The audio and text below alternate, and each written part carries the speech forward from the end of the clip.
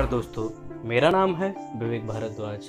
आप देख रहे हैं हमारा चैनल टेक्नोलॉजी विद विवेक, जहाँ मैं हर रोज़ मोबाइल और कंप्यूटर टेक्नोलॉजी से जुड़े हुए ढेर सारे वीडियोस लेकर आता रहता हूँ। अगर आप हमारे चैनल पर नए हैं और आपने हमारे चैनल को सब्सक्राइब नहीं किया है आप हमारे चैनल को सब्सक्राइब कर सकते हैं। सब्सक्राइब करते वक्त बेल आइकन को ज़रूर प्रेस कीजिएगा ताकि आपको हमारे लेटेस्ट वीडियो नोटिफिकेशन जल्द से जल्द मिल सकें। आइए दोस्तों आज का एक वीडियो शुरू करते हैं। बहुत ही इम्पोर्टेंट वीडियो है। अक्सर अभी कुछ दिनों से जो है आ, ये खबरों में आ रहा है। गूगल प्ले स्टोर आप सभी चलाते हैं जितने भी एंड्रॉयड यूज़र हैं सभी को इसकी ज़रूरत पड़ती है गूगल प्ले स्टोर की। ये आ, क्या काम करता है? इसके बारे में हम ज़्यादा बात नहीं करेंगे। हम आज जो बात करने जा रहे हैं दोस्तों, वो बहुत ज़्यादा जुड़ी हुई है आपसे और आपके घर में जो बच्चे होते हैं उनसे। ऐसा देखा गया है कि जब भी कोई ऐसे ऑनलाइन गेम खेले जाते हैं, ऐसे हम कुछ भी गेम्स का एग्जांपल ले सकते हैं, हम नाम तो नहीं लेंगे। जिन गेम्स में जो है कैश की ज़रूरत पड़ती है, पैसों की ज़रूरत पड़ती है रिचार्ज कराने की ज़रूरत पड़ती है, और भी कई सारी ऐसी चीज़ें होती हैं जो आजकल ट्रांजेक्शन्स प्ले स्टोर से भी होने लगे हैं। आप देख सकते हैं यहाँ आप पेमेंट एंड सब्सक्रिप्शन पर जाएँगे और पेमेंट मेथड पर जाएँगे तो यहाँ पर आप देख सकते हैं कि आप गूगल प्ले बैलेंस भी रख सकते हैं और आप अलग अलग यू पी आई को यहाँ पर एंटर करा कर, या फिर आप जो है यहाँ पर अपने क्रेडिट और डेबिट कार्ड की जो इन्फॉर्मेशन यहाँ फिल कर देते हैं, हम कह सकते हैं नेटवर्किंग की भी इन्फॉर्मेशन यहाँ फिल कर देते हैं और इसके बाद हम इसको जो है यहाँ पर सेव कर देते हैं। इसके बाद दोस्तों करना क्या होता है?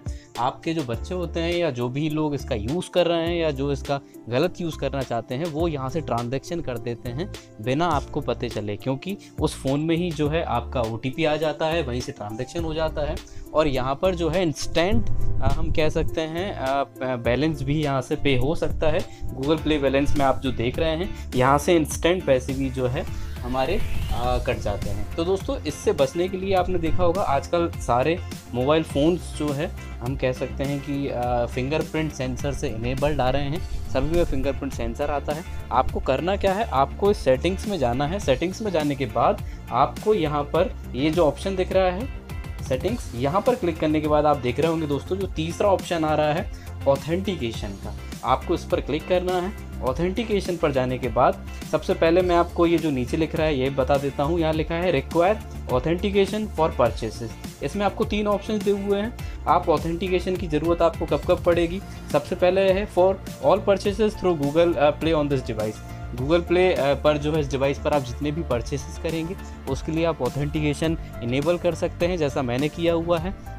इसके बाद आप हर 30 मिनट का भी कर सकते हैं और आप नेवर भी कर सकते हैं। इसमें लिखा हुआ है to protect your account authentication में be required for purchases in some apps regardless of setting इसके बाद दोस्तों हम आपको बता दें जो ऑप्शन आप देख पा रहे हैं बायोमेट्रिक ऑथेंटिकेशन का for Google Play purchases on this device ये आ, मैंने इनेबल किया हुआ था मैंने ये वीडियो रिकॉर्ड करने के लिए डिसेबल किया हुआ है। जब आप इसे पहली बार इनेबल करेंगे तो इनेबल करने के टाइम जो है आपका जिस जी मेल से आपका ये गूगल प्ले स्टोर बना हुआ है, आपने इसको बनाया हुआ है अकाउंट को, उस जी मेल का पासवर्ड आपको जो है यहाँ पर इंसर्ट करना है। पासवर्ड इंसर्ट करने के बाद, देखिए, हम यहाँ पासवर्ड इंसर्ट कर देते हैं। पासवर्ड इंसर्ट करने के बाद जो है दोस्तों, यहाँ पर आप ओके कर देंगे। और ओके करते ही होगा क्या? देखिए, ये बायोमेट्रिक ऑथेंटिकेशन यहाँ से जो है इनेबल हो गया है। अब इनेबल होने के बाद होगा क्या? मान लीजिए आप कोई भी एप्लीकेशन को यहाँ से ऐप को परचेज करते हैं।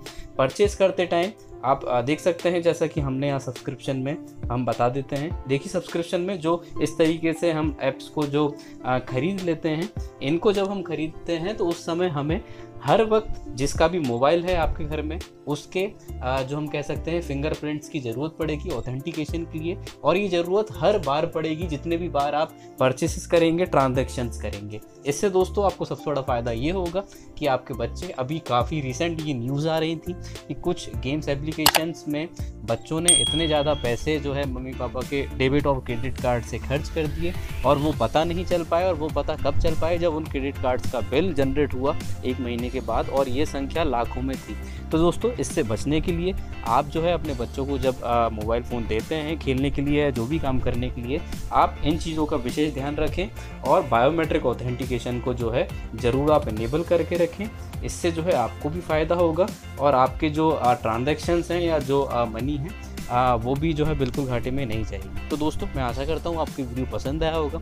ज़्यादा से ज़्यादा अपने दोस्तों में आ, अपने पेरेंट्स लोगों में शेयर कीजिए ताकि उन्हें भी इस चीज़ का नॉलेज हो कि प्ले स्टोर में भी अब ये ऑप्शन अवेलेबल हो गए हैं जिनकी मदद से जो है आप बायोमेट्रिक ऑथेंटिकेशन को यहाँ पर भी जो है इनेबल कर सकते हैं। दोस्तों अगर आपको वीडियो पसंद आया तो लाइक कीजिए कमेंट कीजिए चैनल को सब्सक्राइब कीजिए। मेरा नाम है विवेक भारद्वाज। Thank you